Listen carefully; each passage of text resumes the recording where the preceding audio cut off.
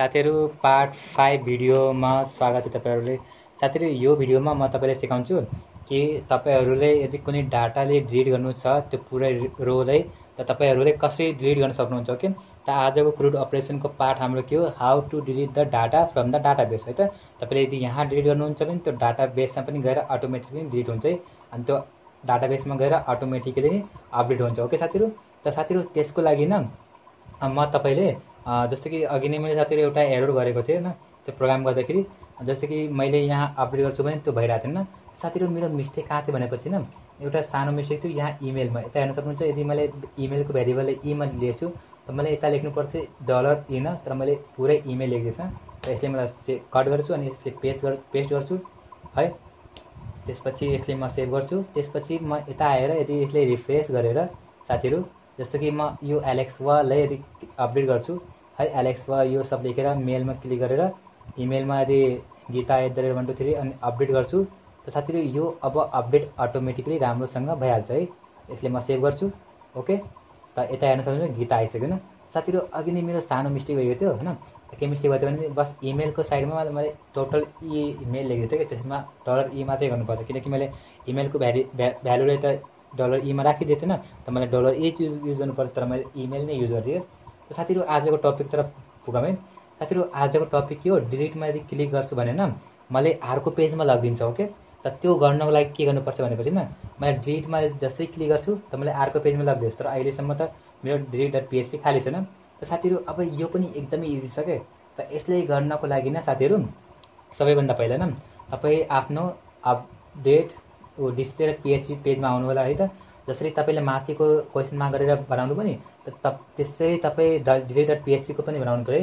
Just delete dot पिएचपीको साइडमा एउटा question mark दिनु है। अनि साथीहरू यसमा तपाईँले मात्रै एउटा डाटाले अर्को पेजमा लाग्नु पऱ्यो है।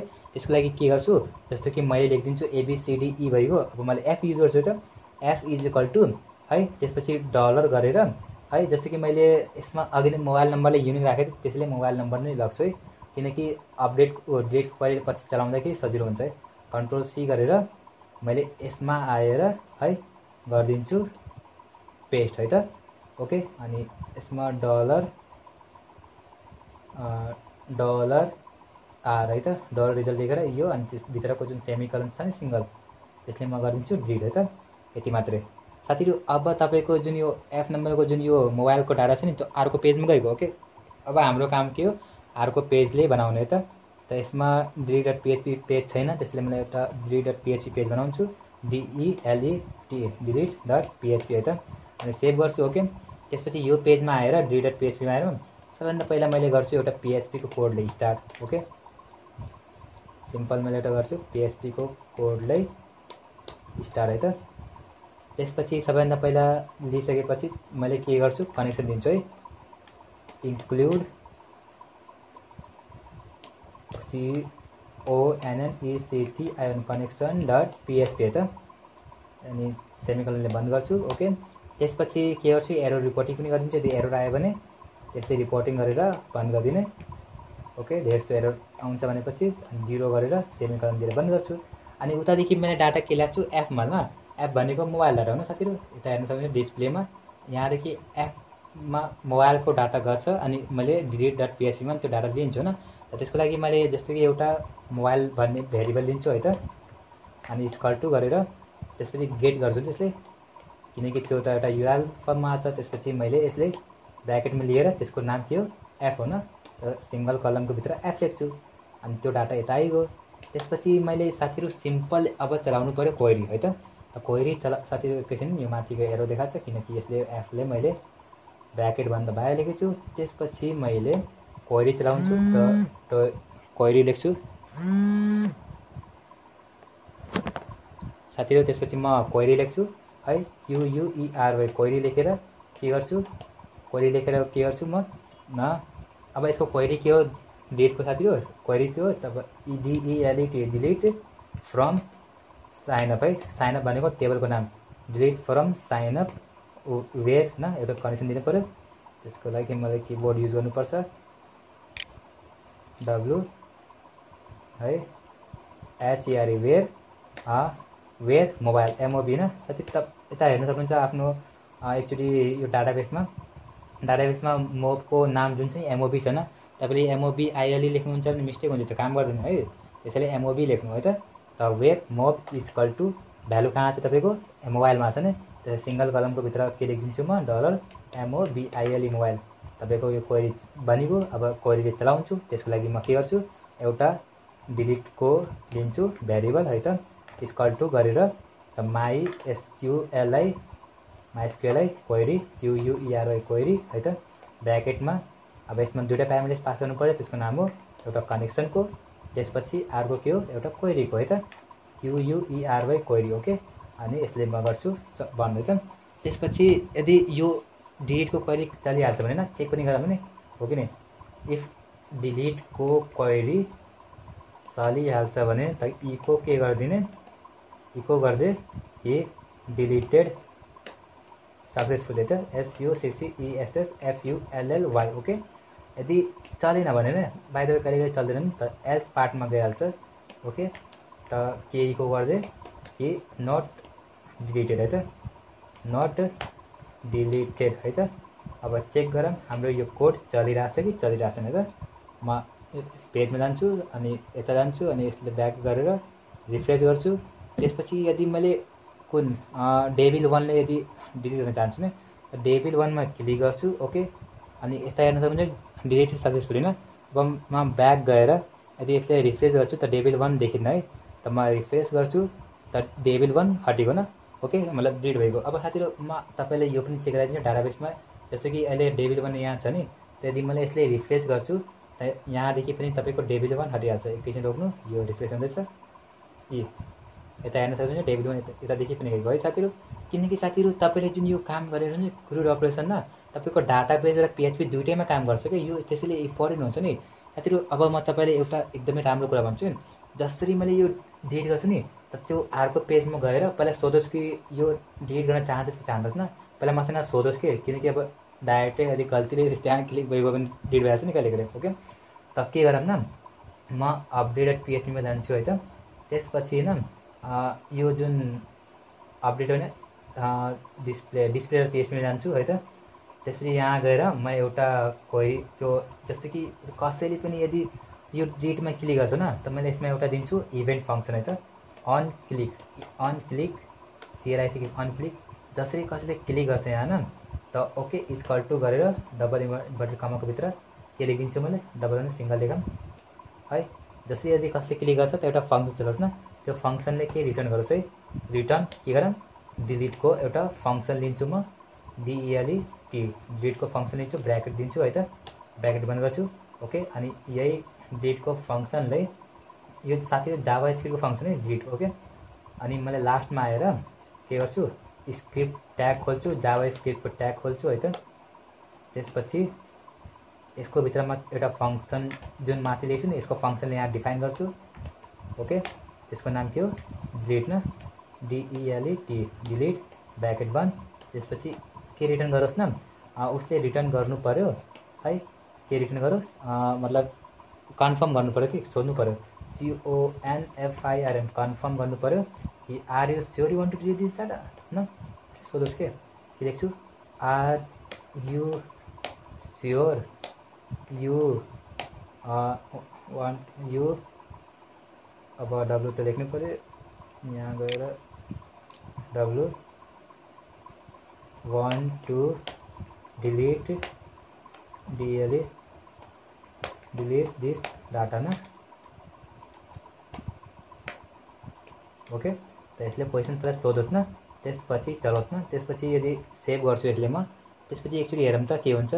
यसले म रिफ्रेस गर्छु ओके? अनि यदि हेलले गर्न चाहन्छु डिलिट ओके? त्यसपछि यता हेर्न सक्नुहुन्छ डिलिट आइगयो साथीहरू यो अटोमेटिकली डिलिट आइगयो न। त साथीहरू यसले रिटर्न त गरेन ओके? त त्यसको लागि के गर्नु पऱ्यो भने हामीले यो डिलिटको फङ्सन जुन छ नि त्यसले मैले के गर्नु पऱ्यो?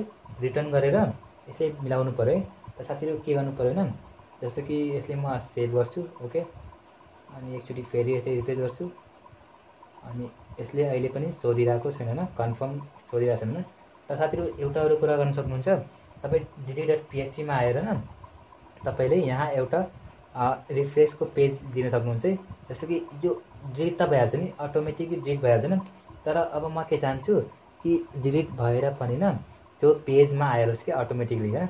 त्यसको लागि के गर्नु पऱ्यो तपाईँले त यसमा तपाईँले एउटा म यसले पिएचपीको ट्यागले गर्छु बन्द है अनि यता पिएचपीको ट्यागले खोल्छु अनि यसैको भित्र मैले एउटा मेटा ट्याग लिन्छु है एसटिएमएलको मेटा ट्याग है त एनइटिए गरेर है के गर्छु एनइटिए मेटा ट्याग गरेर है त्यसको भित्र एउटा इभेन्ट दिन्छु एचटिपी इक्विभेल इक्युयुआइभी है त स्कल टू गरेर के गर्छु रिफ्रेसको दिन्छु है त के रिफ्रेस भइहालोस् के?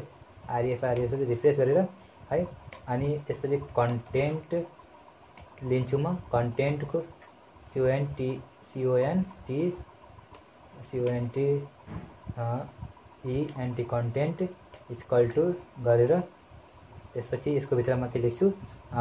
टाइम दिन्छु है। यो कन्टेन्टको भित्र म लिन्छु टाइम है त जस्तो कि म जिरो लिएर त टु सेकेन्ड पछि अर्को पेजमा आइहालोस् कि? अनि त्यसपछि युआरएल पनि दिन्छु है। युआरएल भनेको यो अर्को पेजमा आएर चाहिँ त त्यसको लागि म के गर्छु? युआरएल गरेर अब के यता इक्युयुआइभी हुनुपर्छ? सिलेको छु साथीहरू अब यता जुन युआरएल दिनुहुन्छ नि जस्तो कि तपाईँले डिड गर्ने बित्तिकै अर्को पेजमा जानुहुन्छ नि त मलाई डिस्प्ले पेजमा जानु चाहनुहुन्छ। त डिस्प्ले पेजको पुरै गर्छु युआरएलले कपी है। अनि सिधै यता गएर म गरिदिन्छु पेस्ट है त। अनि यसले म गरिदिन्छु। बन्द है। अनि सेभ गर्छु दाजु है अब एक्चुली हेरौँ त। अब त चल्छ होला जस्तो कि मैले गीताले गर्छु डिलिट है। अर्को पेजमा आयो। एक दुई तिन। यता हेर्न सक्नुहुन्छ? त्यो अर्को पेजमा अटोमेटिक लाग्यो न यदि म गीताले गर्छु डिलिट न जस्तो कि एलेक्सोले गर्छु डिलिट न गर्छु। तपाईँ तिन सेकेन्ड पछि एक दुई तिन। ए आइगयो न तपाईँको? एलेक्सको आइगयो न। साथीहरू तपाईँले यसरी गर्न सक्नुहुन्छ। साथीहरू यही हो तपाईँको क्रिड अपरेसन साथीहरू एकैछिनमा तपाईँले पुरै चेक गराउँछु अब ओके सबै त भइसक्यो अब तपाईँले म सुरुदेखि स्टार्ट गर्छु ओके जस्तो कि मैले सुरुमा एउटा पेज खोल्छु। लोकल होस्ट द पिएचपी मैले यहाँ एउटा पेज लिन्छु जस्तो कि म लिन्छु। डिइबिआइएल डेभिल किङ है त? मोबाइल नम्बर जे पनि लिन्छु। One two three four seven जति पनि लिन्छु। एड्रेस लिन्छु म ओके एड्रेस लिन्छु N E P L Nepal G U N B guns okay त्यसपछि जेन्डर मेल लिन्छु अनि इमेलमा के लिन्छु?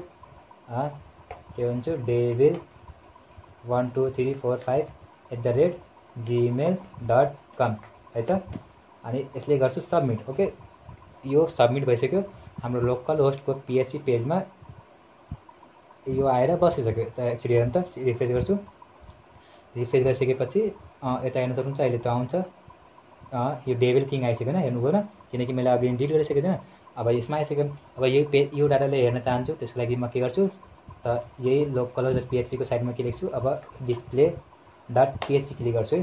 यता हेर्न सक्नुहुन्छ मैले अब यो डाटाले हेर्न सक्छु यो तपाईँको तपाईँको क्रिएट भइसक्यो यो हो तपाईँको रिड है त सिआर न। अब अपडेट गर्न चाहनुहुन्छ त अपडेटमा मैले गर्छु क्लिक है त। जस्तो कि डेबिल प्रोग्राममा क्लिक गर्छु है त। अनि डेबिल प्रोग्रामको साइडमा के लेख्छु डेबिल डेबिल इज ब्याक है त। ओके त्यसपछि यो नम्बरले चेन्ज गर्न सक्नुहुन्न ओके? नेपाल आउने ठाउँमा के लेखिदिन्छु जुपिटर। जुपिटर लेखिदिन्छु साथीहरू अब मेलमा क्लिक गर्छु अब जुपिटर जुपिटर है? Jupiter at the rate Gmail dot com okay? अनि यसले म गर्छु अपडेट है त? त यो तपाईँको अपडेट भइसक्यो। यता हेर्न सक्नुहुन्छ ब्याक गएर यदि मैले रिफ्रेस गर्छु त यो यता हेर्न सक्नु devil is back Jupiter at the rate Gmail dot com न? त मतलब सिआर यो अपडेट पनि भइसक्यो। ओके यदि मलाई गर्न चाहन्छु डिलिट त त जस्तो कि म गीताले गर्न चाहन्छु डिलिट त त म डिलिटमा क्लिक गर्छु ओके त डिलिट सक्सेसफुली तिन सेकेन्ड पछि आफ्नो पेजमा आइपुग्यो हेर्न सक्नुहुन्छ ओके साथीहरू यो हो तपाईँको क्रुड अपरेसन ओके साथीहरू यो भिडियो बनाउन एकदमै टाइम लागेको थियो मलाई दुई तिन दिन लागेको थियो म्याक्सिमम् त। पहिला कोडिङ लेख्नु पऱ्यो त्यसले एकचोटि एक्जिक्युट गर्नु पऱ्यो त्यसपछि फेरि गर्नु पऱ्यो ओके साथीहरू please do like share and subscribe है। यदि भिडियो मन पऱ्यो भने तपाईँहरूले आफ्नो साथीहरूले पनि सेयर गर्न सक्नुहुन्छ जो आइटी पढ्दैछ ओके साथीहरू? त हस् साथीहरू आजको लागि यति नै। अब म तपाईँले अर्को भिडियो भेट्छु है त। हस् थ्याङ्क यू